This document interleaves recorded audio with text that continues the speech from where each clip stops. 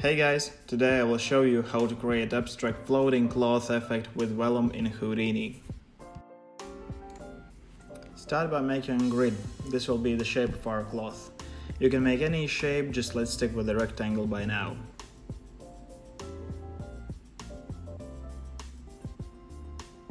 As we will probably need more polygons, let's add a subdivide node.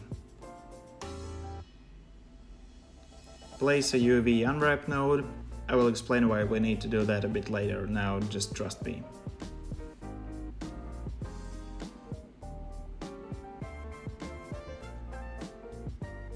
Now to the simulation part. Add Vellum constraints, this is where we can define the behavior of the simulation. Don't forget to change the type to cloth. Also we will need the solver. Connect all the outputs of the constraints node to the solver node. Let's check if everything is correct.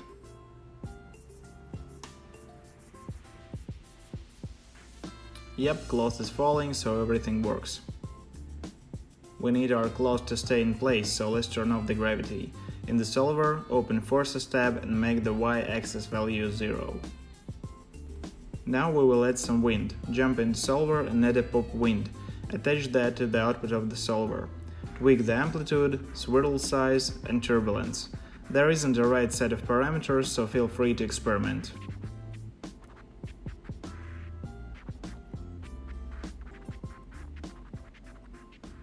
Now let's get back to the solver. Press play and you will see how the wind forces affect the cloth.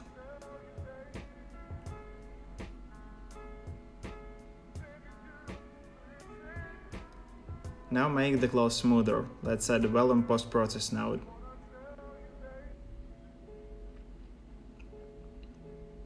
And before going further, remember we added the UV unwrap at the beginning. Let me explain why we need that. I'll drop a UV quick shade node to visualize the UV, and let's play our animation.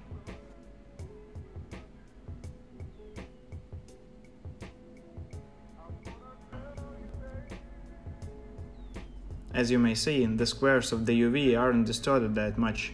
It means that the applied texture will not stretch anywhere. If we go back and bypass the UV unwrap, you can instantly see how UVs are being stretched because of the deformation of the initial geometry.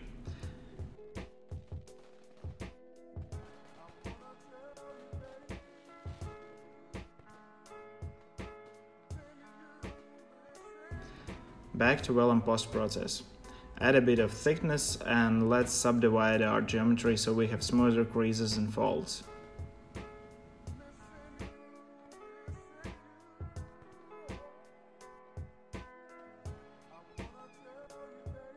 Our simulation is going too fast, so for a nice gentle floating in slow motion, we need to drop a time blend node. Set the evaluation mode by speed and my preference is to keep it at 0.2. Make sure that time blend node is active and set to display and let's play our simulation.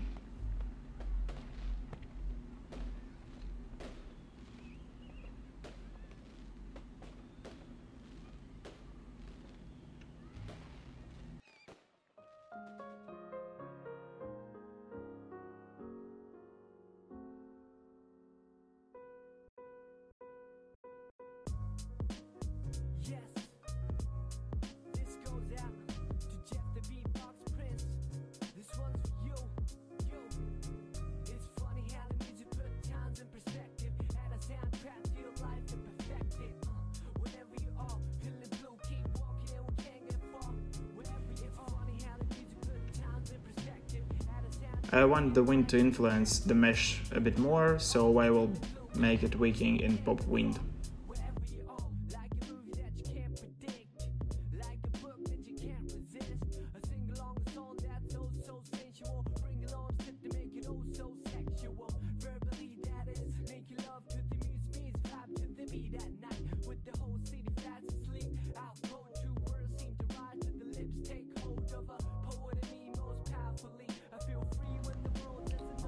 So this looks satisfying by its own, but let's export it just one frame and jump into Cinema 4D to shade it.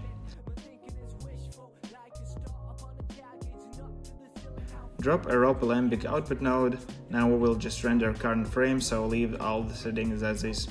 Set your output path and hit save to disk.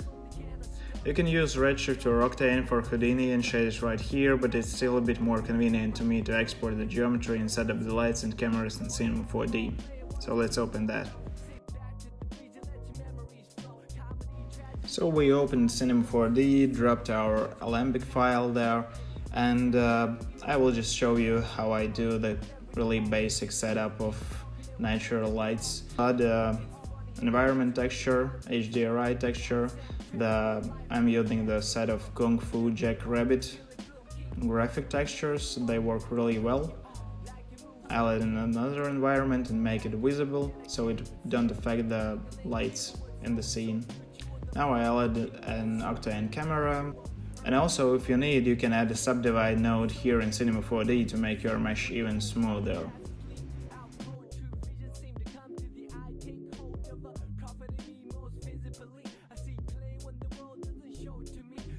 I'm using Greyscale Gorilla Everyday Material Pack. I've just got a cloth material, tweaked their, the settings a bit, made it even darker, and that's it. Here you may see one of the projects I've done for a local fragrance brand, and uh, I've used a lot of like swirly cloth even in style frames. I mean, I love how the light plays with all the folds and creases of the cloth. It makes really like floating weightless effect if you would like. So um, yeah be sure to check out the Houdini Vellum and hope you guys like it. Thanks for watching